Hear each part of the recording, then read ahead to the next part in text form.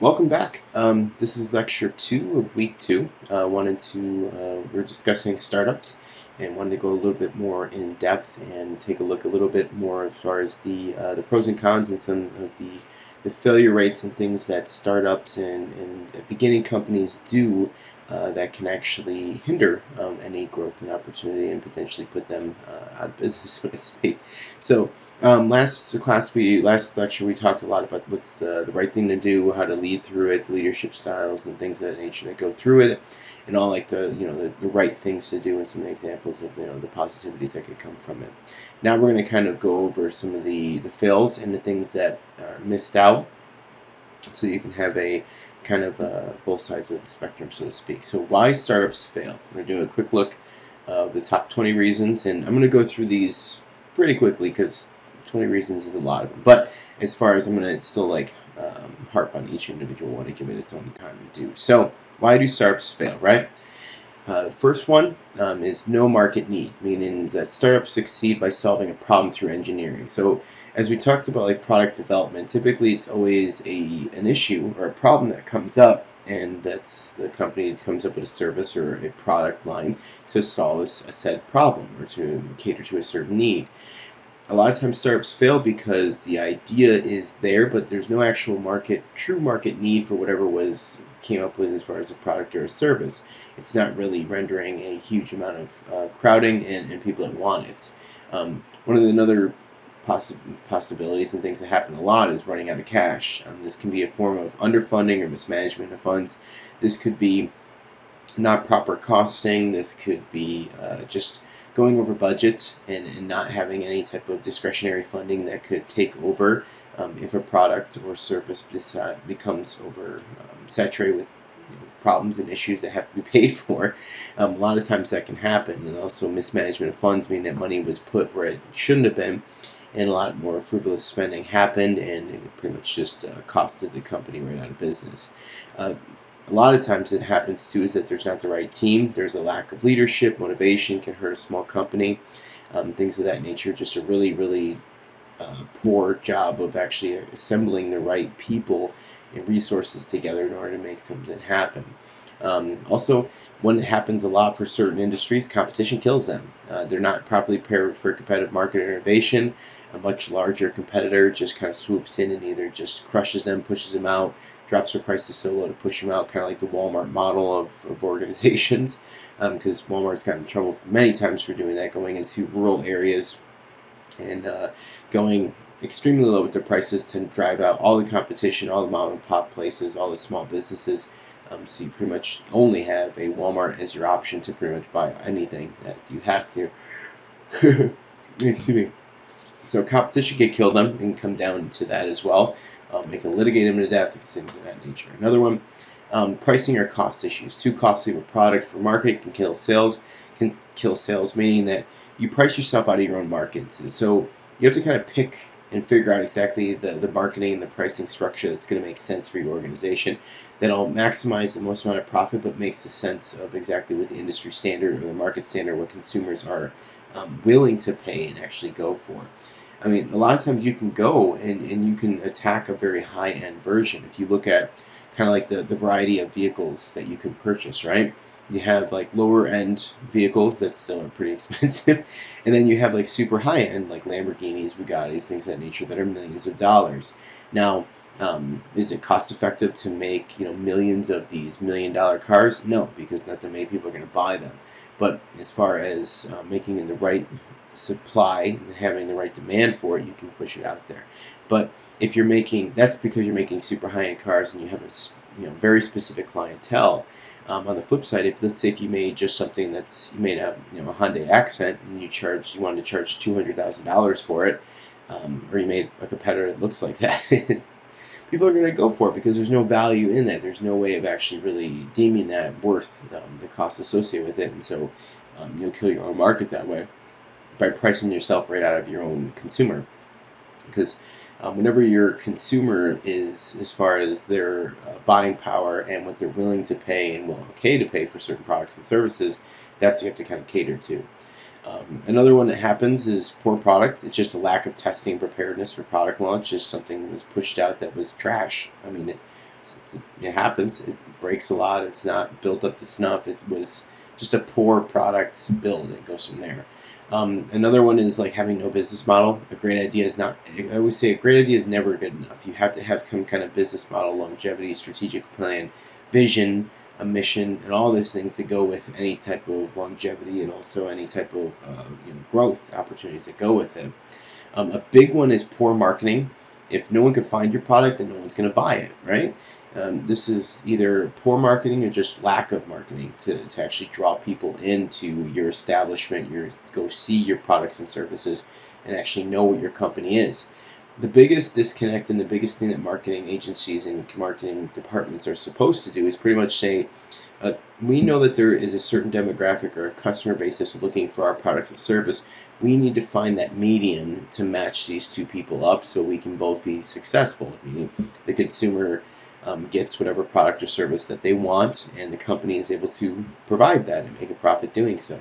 Otherwise, um, that there's a disconnect between the two, between the cons- between the, the the consumers that actually want and need these products and services, and the companies that can provide. Them.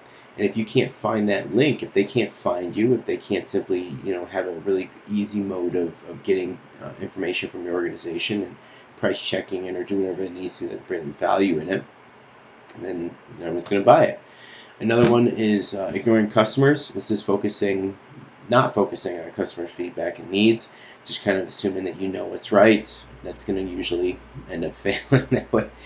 Um, one other one that I always like to discuss is product is possibly missed time, just either launched too early or too late. Now, I bring this up because I always like talking about like virtual reality in this type of circumstance, right?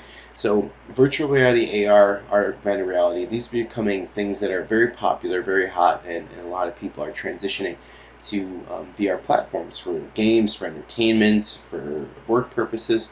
It's a really cool engine and platform to utilize, and it's actually getting much easier to build in these in, in a in a um, software-based VR realm um, using certain game engines and certain engines in general to create assets and to create a virtual reality. Now, that's cool, right? But on the flip side, I always joke and talk about that. I remember VR, in my opinion, has never been something new because I remember being told about virtual reality when I was young, probably in like the early 90s and late 80s. And all they pretty much did with this kind of VR was that they would they didn't have it very good for for um, any type of entertainment purposes, but the gaming industry was trying to you know get involved with VR, and they created like Nintendo Red and a couple other systems that could that, that were deemed VR, and it pretty much was jamming a 2D rendering video side scroller video game into your face, and like you could pan your head side to side, and you could see the entire game board that way. Um, granted, that's cool and all, but the, the money that it took to actually make that functional and operational was pretty extravagant. People couldn't bring those into their homes. It was quite expensive, and there was very limited with as far as the availability of what it would be able to play under or be able to use it for, and so that kind of just you know killed it. And I always tell you that that's virtual reality being mistimed for the launch, and it was way too early. Same thing with electric cars. Same thing with the early adoption of Tesla. Um, Tesla was a huge failure for a very long time until Elon Musk came about, bought the com- like bought into the company and started pushing them out and actually getting uh, more productivity. And now they're they were doing really well. Now they're in kind of a flux trying to figure out this whole rocket situation, but that's a different discussion there. Another one is losing focus. Um, the vision changed. The I guess the business needs go a different way. So changing visions and ideas, founders get like self-absorbed and they lose focus on exactly what's going to be happening. And so when this happens, you know, it becomes a chaotic work environment. A lot of people are going in different directions, and no one's kind of working together to accomplish a common goal. This lack of focus can, uh, you know, deharmonize organization and actually push away customer bases. Uh, another one is um, disharmony with investors. So investors, uh, angel investors, venture capitalists they're an important part of the, your organization because they're the financing backing everything that works and goes on, right? So um, if you have a disharmony with investors as far as you're like ignoring them, uh, their demands, or focusing, uh, or, for, or even on the flip side, focusing too much on their needs and their wants, a lot of times you can put the company right under. Because if you ignore your investors too much, what do you think is going to happen? You know, everybody can just adjust to what you're going to say. They're going to start pulling out their money or trying to divest and go somewhere else, right? They're going to start looking at you and your organization as not a solid investment. They're going to try to go other ways. Another one is if you focus too much on them, which we've seen many organizations that just focus on the bottom line or just trying to get the biggest rate of return on their stock prices and things of that nature. And in in the short sight, it might help the organization, but in the long term, it starts hurting uh, customer satisfaction. It starts putting them in a skeleton crew so that their operations go down. It starts uh, raising costing. It starts going up because of other things that they start pulling from or changing in order to make their bottom line look a little bit better for that single quarter to make their investors happy. So there's that kind of uh, plethora that goes into it. So you want to make sure you have harmony with your investors, not a disharmony. Um, change gone bad is not like I said. Change is inevitable, so you have to be prepared for it. But bad change can really, really hurt an organization, and potentially even like put it out of business, depending on how either um, you know how new the organization is or how stable and solidified the company is. Many startups and, and new entrepreneurs are on a very, very kind of like fixed income setup and a very, very thin line as far as what they can do before they get pushed out of business, right? So uh, making sure that the, the change that you have doesn't go bad, but that it, you know and make you know make too much changes or too big of changes to the organization too fast because that can also be detrimental with pushback. Another one is lack of passion. Um, I always say that any every any and every successful entrepreneur or person that gets involved with a startup from the ground up they have to be uh, have a passion for that organization, that product and service, that company. Something's got to motivate them on an emotional level for them to get interactive and, and do a good job with it. Otherwise, if they do just become cogs that are just punching in and out or collecting a paycheck, it's going to reflect on the workload and the work and also how the customer interactions work that way. And so, and then also, um, you have to focus on the passion of the work. If you get too focused on like profits or uh, you know bottom line and just looking to cut costs and do whatever you can to cut corners in order to make your company appear better on a balance sheet and you focus on the wrong things um, you lose that passion of like trying to actually be engaged with your customer base and, and employees and you start just looking at it as a money stream and that's going to be an issue um, another one that's kind of more like retail or more of like a uh, you know brick and mortar setup is just simply bad location you know it was a poor decision on where the business was actually going to be. Like we go, we decided to move into a, a complex with a bunch that's starting to die, and a bunch of businesses around me are going out of business, which doesn't look good for me. And it's also drawing less traffic into our specific area that we're in. It could be in a, a rough area. It could have a bad zip code. It could. There's a bunch of things that could go with it. It could just be poorly located. I mean, it's in like a, uh, a warehousing sector and it's so hard to find that people unless people are specifically googling your organization or or doing uh, maps specifically to find your company no one's going to kind of just foot traffic it or nobody's going to just drive by it and be curious. Um, so that goes from there. Another one is like no uh, financing or investor interest meaning that your company is so un I guess attractive to investors that you can't get the money to actually back what you're trying to do. Now, when this happens, you have a, a tough question to ask yourself. One, you have to say, okay, so no investors are giving me any type of funding for this. There's no interest in my organization. So, what am I doing wrong that's not uh, working with that? And so, you as the excuse me, as the business owner, person that's trying to generate this, you have to take a hard look and figure out exactly what is making your organization so unattractive to investors and financing, especially if that's going to be something that you're trying to go down the line to achieve. Is it the um, overall profitability and revenue streams? Is it the balance sheet? You have too many, uh, you know, too many assets. Is the company not generating enough cash flow over like a certain duration of time? You have to figure out what it's going so you actually can you know make adjustments to it and figure out the best practices to remedy these situations. Another one is legal issues. Um, you got sued you're getting sued. Uh, you interrupted a federal regulation or state regulation, and you have to deal with that, or you have to close based on it. Um, your restaurant serving very dirty food, and health inspector comes in closes you down. Terrible example. Don't ever do that. Um, but again, legal issues can be a unexpected battle that could force a company out of business, depending on what happens. A uh, consumer suing the organization, another company suing you based on some kind of infringement or something of that nature. There's a whole bunch of things that can go wrong with that certain circumstance. Um, another one is another one is not using their your own network as far as um, you personally as a owner, operator, founder, but also the founders, the board of directors, or whoever else you have attached and has a pretty high stake in the organization's success. Um, you know, use these individuals, use all their connections, use your own uh, to establish stronger relationships with your community and also business leaders and people that you find trustworthy and that can aid you in your success and you can help them with their success. Uh, but a lot of times, founders uh, don't use their own connections and they try to do everything alone and it ends up being a failure. And I always like to quote um, Arnold Schwarzenegger when he always does the speeches on there's no such thing as self-made, everyone gets help, and he always states that he wouldn't be where he was if he didn't have help from the close friends and family and, and people that kind of guided him over the years. So always remember that. Make sure you use your network. It's not a pride thing. It's a look. You need to be. You have to be successful by doing this. Otherwise, it's never going to have a, a, a, transcending success that you're looking for. Another one is burnout. Um, a lot of entrepreneurs and, and business leaders just end up putting way too many hours, spending way too much time, and just putting too much effort into their organizations, which which I get it. I mean, if you build something from scratch, you're going to want to have a stake in it. This is your baby, so to speak, and you don't want anything to happen to it. You don't want anything, and if something bad does happen, you want to be there to fix it or you want to be the cause of it, not let uh, somebody else do it. But um, with that constant barrage of being in, involved with your organization comes burnout.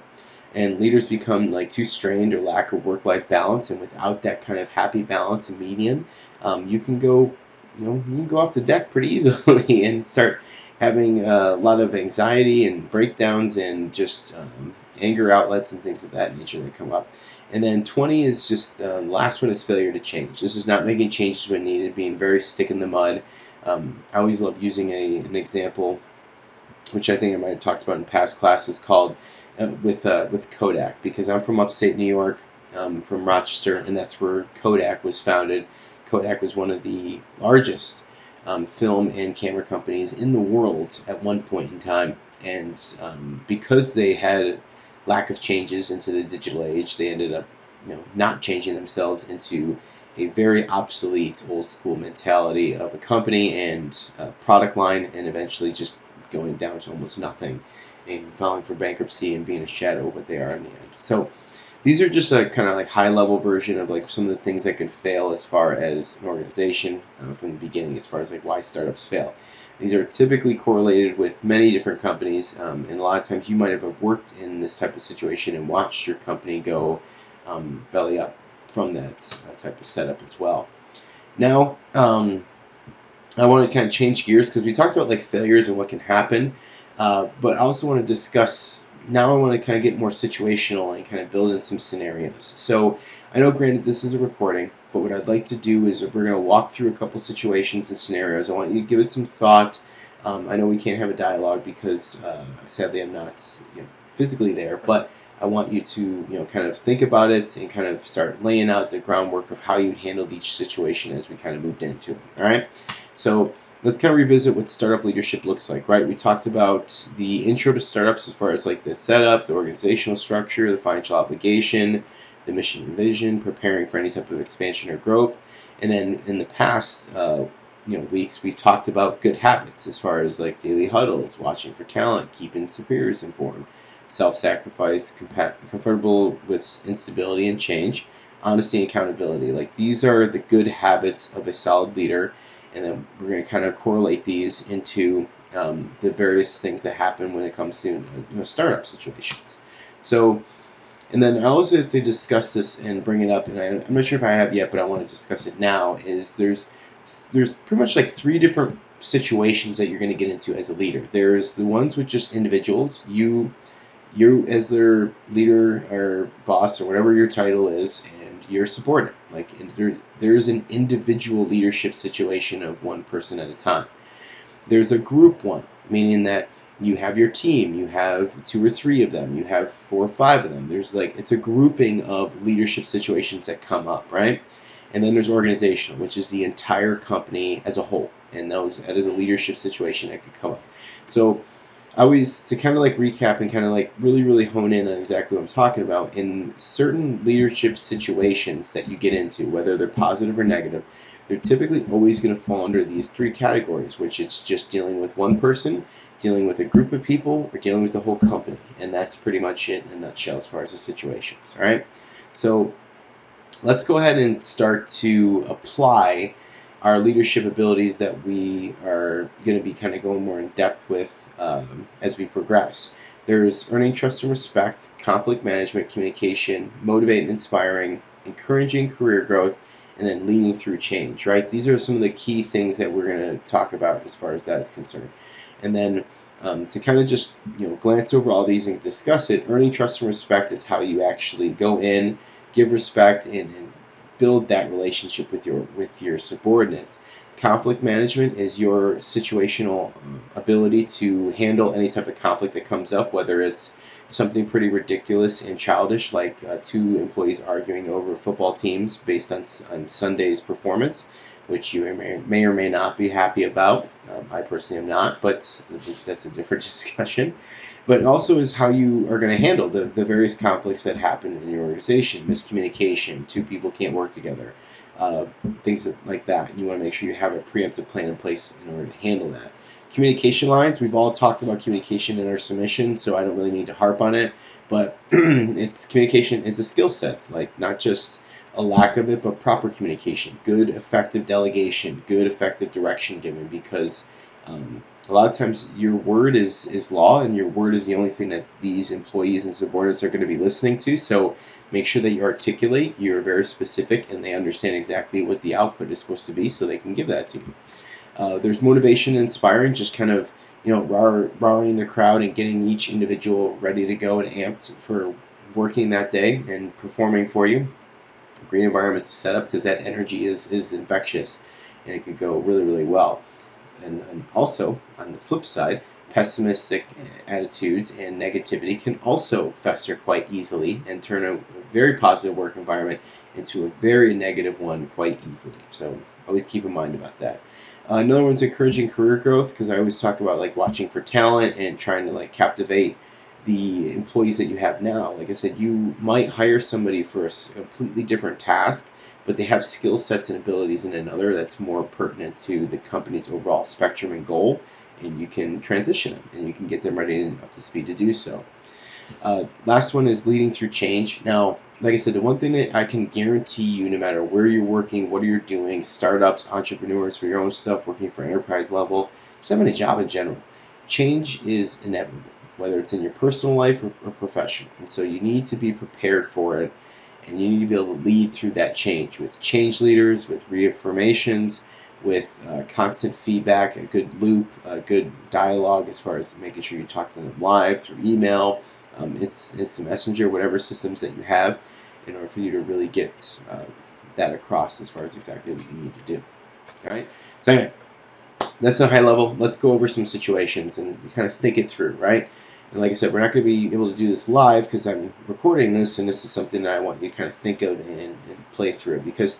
Um, as we progress, I'm going to be constantly throwing some kind of examples at you of what you would do in certain situations. So this one is um, specifically, you, you just landed a job as a senior director for a small company. Um, it's it's only been in business for about a year, so it's not that longevity of an organization. The company is under 50 employees, and 32 of them are frontline workers, meaning majority of the company are people that work directly with the clients and the customers. Um, you are brought in, and you are now splitting responsibility with only one other director to oversee the to now oversee about 16 employees. right? um, that have been there since the creation of the company. So you're new. They're they've been there since the beginning. Um, you're starting to get split up the workload uh, between a few different directors as opposed to just the one, and so you're getting a plethora of new employees to manage, to watch over, and to do. So um, the caveat to this is, like I said, these employees have been there since the organization started and it's been around for a little over a year. You're brand new, so you may or may not have assimilated nor earned the trust and respect of your peers. So, and your team. So, how would you earn this team's trust and respect? So, I want you to give that a good thought and some good practices on what you would think you would do with that type of situation. Um, so think, think, think. And then what I'm going to do is I'm going to tell you just some of my own personal experiences and what I potentially would do in this situation as well. And then you can correlate, overlap, and, uh, think about it that way. So, um, because I've had to do this in the past with uh, certain jobs that I've taken as far as project management or consulting work where I don't have as much expertise, understanding, or abilities as, as a lot of the subordinates that I'm overseeing, right? Um, as a project manager, a lot of times you don't have the skill sets, but you have to you know, relay that and be honest about it, and also lean really heavily on your um, your counterparts that do as far as that information, so you can make sure that you are being optimal and taking care of what the company's needs are. So anyway, um, back to the scenario at hand. How would you earn the team's trust and respect?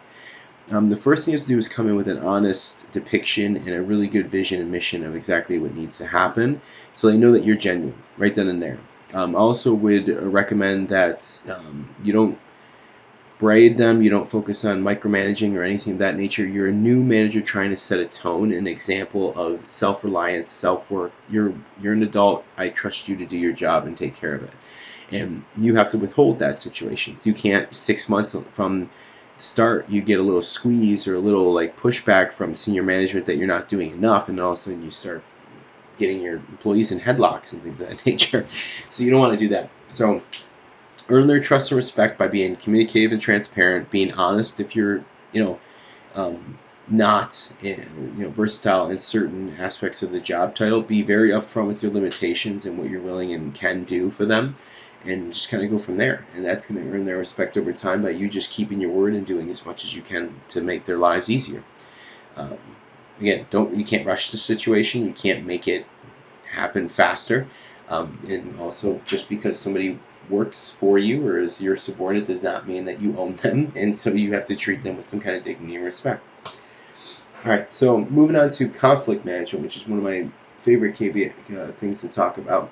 So conflict management happens, right? Like I discussed. Now here's a scenario that I'm going to put you guys in to think about for a bit.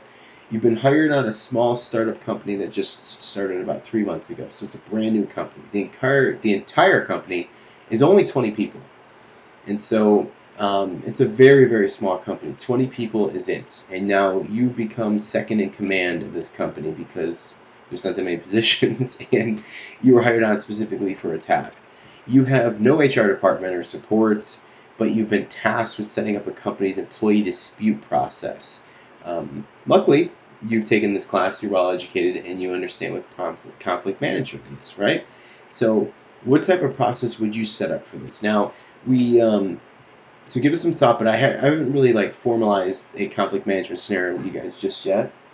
But we're going to discuss that. What's um so a conflict management scenario is like a preemptive strike on any type of situation that comes up within the workplace and how to push through that, how to manage it, and how to mitigate it as fast as humanly possible. Right? Conflict is bad in the workplace and can create a toxic environment.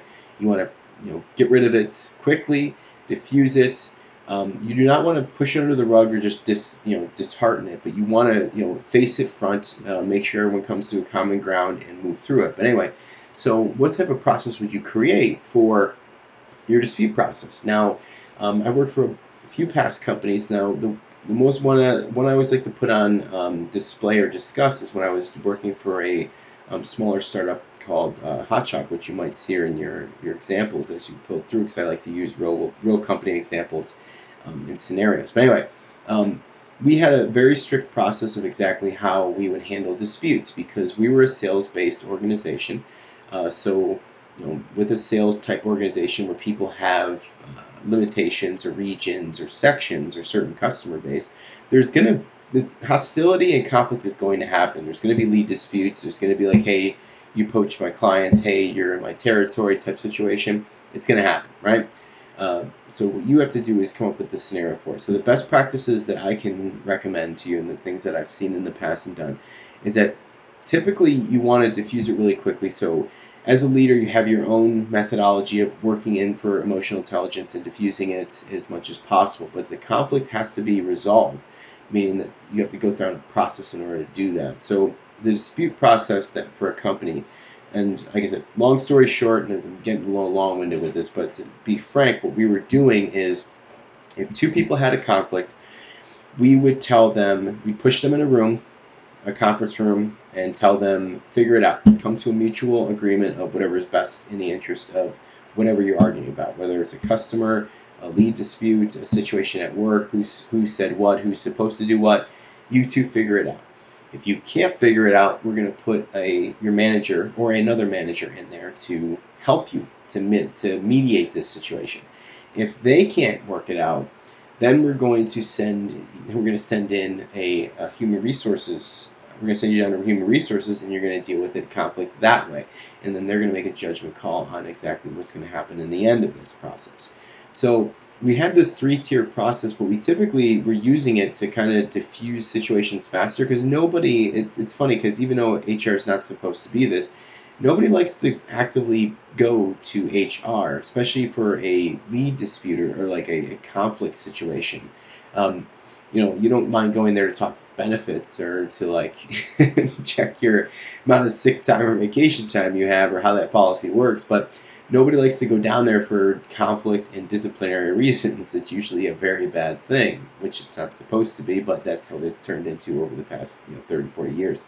Anyway, um, so that would be a deterrent, but typically we'd push them in a room and they would figure it out. Worst case scenario, we'd send in a manager and then they mediate it and come out, um, you know, either completely both happy with the, the resolution that they came with and being able to vent and talk about their own uh, issues or hangups or what they believed happened, and then you know moving on from, and moving on from that. But there also could be you know one person feels like they got kind of screwed in the deal.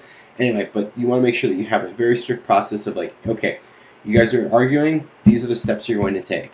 If there's this kind of situation, these are the steps you're going to take you want people to be systematic and knowing and being prepared for what's going to happen when it comes to conflict and conflict resolution. Uh, communication, which we've talked about a bunch, and a, a, lot of your submissions include proper communication channels and pro- being a proper communicator, um, not just being recluse or hiding behind your computer or your desk or hiding in your office. So the communication situation I'm going to put in front of you is that you're a senior manager role for a small tech company kind of seen the theme. They're all small companies. Anyway, the, the CEO slash owner is a standard introvert that only talks to their leadership staff about company vision, uh, changes, growth, and progress. So this person only talks to you and your executive staff that's on the small little panel about anything about the organization for you know the vision for growth for any type of changes in progress and he or she does not like to communicate um, to the company as a whole which is a problem when you don't have it when you have a very uncharismatic CEO that can resonate as bad things. But anyway, the CEO never does company meetings or town halls to inform employees of anything, right? And the company has about 50 people that all work in the same office, so it's not hard to actually facilitate and do this. But um, only you have, uh, only you and five others have been given information that affects everyone in the company. So, like I said, this CEO does not do a good job of disseminating information amongst the entire company. He or she brings in his, he or she, his or he or she's very key executive staff, which you're on, and gives you very specific roles as far as job responsibilities to get done. You do the best that you can to make sure it happens.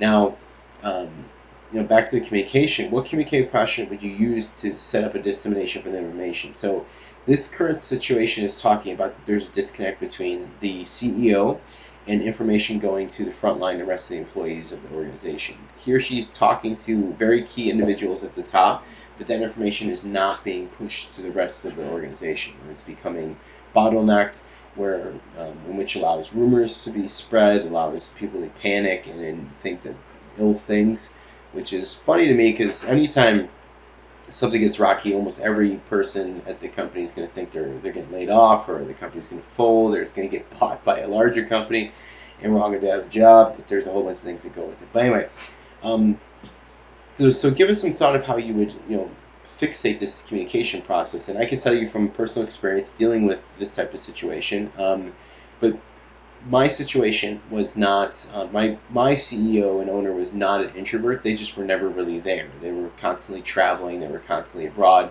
Um, they were not really standard, so they would just disseminate information for the executive staff, leave, and hope that everything got transitioned the way it needed to, which is also not the most optimal, but at least it's not being introverted and afraid to talk to people. But anyway, um, back to the communication plan. So um, some of the key successes or things to do in that in that circumstances, like if you're in a situation where the your CEO or your your leader is giving you information that they want you to disseminate in a certain manner to your uh, team members, you start to facilitate how that's going to happen. And so the communication plan needs to be, I always say, it needs to be very, very transparent and quick. So um, if the CEO or the executive staff gives you information about a change, about a company, about a product, a service, or anything with that organization, that you're immediately taking that information and either compiling an email to go to your entire team or taking them all off the floor really quickly and discussing it with them. But you're going to be very quick to explain exactly what they're going to be getting getting themselves into and what's going to be happening with their current situation. And so um, that's a portion of the communication plan. So when you're doing, oh, sorry, jump back. When you're doing the communication plan, um, you want to make sure that you have a process, whether it's uh, you know, meetings, town halls, etc., however it needs to go for that situation, right? Motivation, inspiration. Uh, yay, this, right? The scenario I'm putting you in is that a small company you work for has assigned you a project to manage. 10 employees have been pulled off their normal work to aid in this venture of securing a new division of the organization. Uh, some have volunteered, but most were just kind of like tapped on the shoulder one day and just dragged away to do something else. Uh, and to do this for the company. So only 30 people in the entire organization as well, and 10 of them are getting pulled off for this specific task.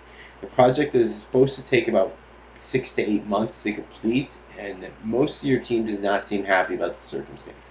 So what are you going to plan on doing to motivate your team? So um, put your thinking caps on, put yourself in a scenario. You know, you've been dubbed this project manager of a certain department that's, that's temporary in the organization the company has tapped 10 of their employees on the shoulder to come help with this venture that they don't seem too happy about.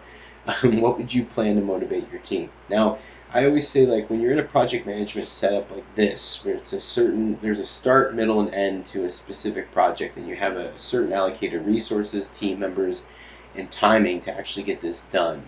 Um, incentivizing with money and time are always really great to do because that's you know people love those things. Like asking um, if as long as you can get clearance for it, you know, promising getting them more additional vacation days or time off from work based on their performance or finishing a deadline in a certain project, or just giving them monetary as far as some kind of money bonus or additional hours, something of that nature to help it make make it worth their while to be pulled off this project and just help the company because uh, you can't expect your employees to just automatically care about the organization as much as the highest level executives, the CEOs, or the owners, because they don't.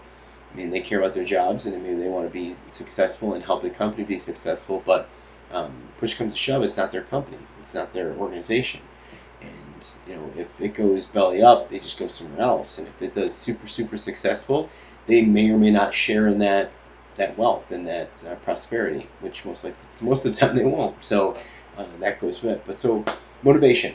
I would say time and money start whenever you can incentivize to work off that. Also, you have you can lean on your charismatic abilities if you have them, discussing uh, all the things that they need to. You know, this is great for career opportunities. Great for career growth. Um, it showcases your leadership skills.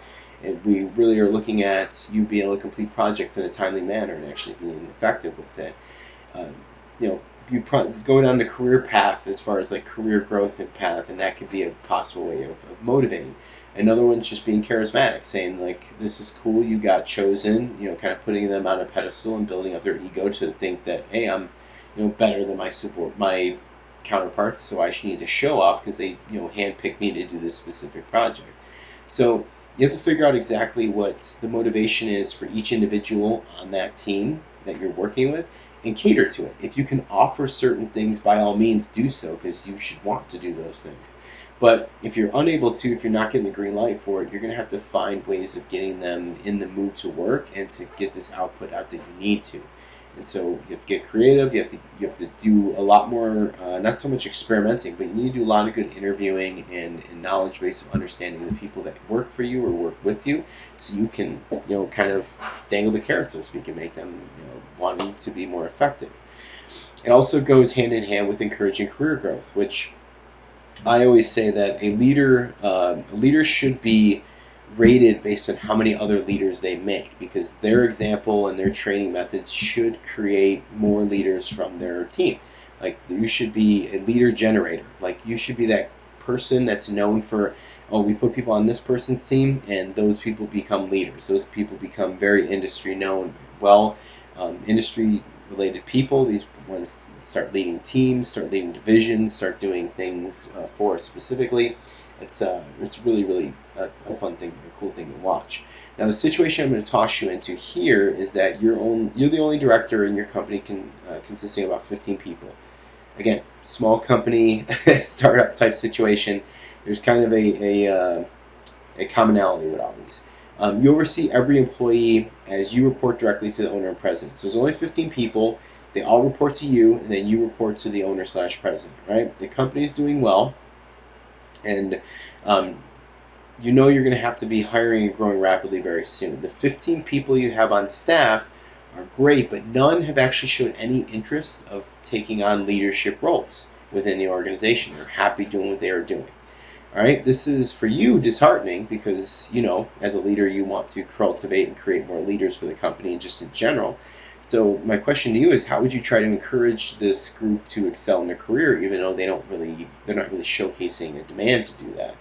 Now, you know, give it some thought. Think of some kind of practices or what you would do in this kind of situation, because this is a loaded question, and it's not always going to be like one answer fits all kind of situation here. But I can kind of guide you a little bit as far as how would you, you know, try to encourage this group to excel as a career, uh, to excel their career.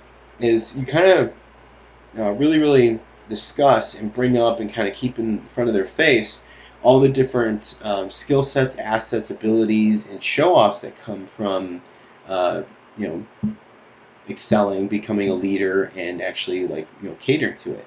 Uh, you know, everyone. I, can't guarantee that everyone wants progression, but for the most part, um, hungry, you know, employees and people that want to be successful when they get into a position, they're looking for their, I guess, their transcendence, like where they're going to proceed to, to make more money, to get more responsibility, to move up with the organization on the hierarchical chain, and that's where you want to kind of encourage from.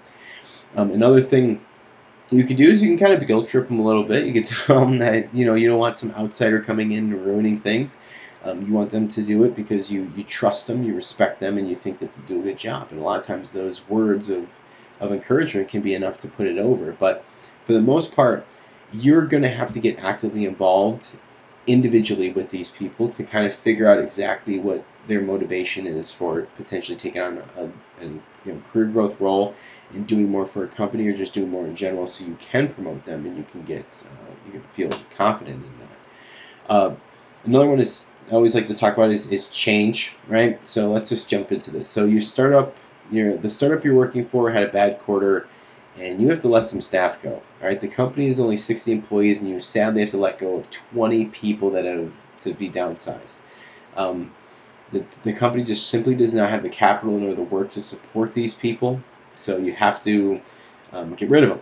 Luckily, uh, you don't actually have to give the news to these employees, but you're going to be around. So but um, being let go. But as a manager, you'll need to get your employees through this tough time and this downsizing, meaning that you're going to have to, you know, any one employee that's not getting that talk or getting that severance package and getting that envelope, um, you need to have that discussion with as far as, uh, you know, keeping them on track, keeping them functioning, keeping them happy, and just saying, you know, this we'll get through this. It sucks, but we'll make it happen.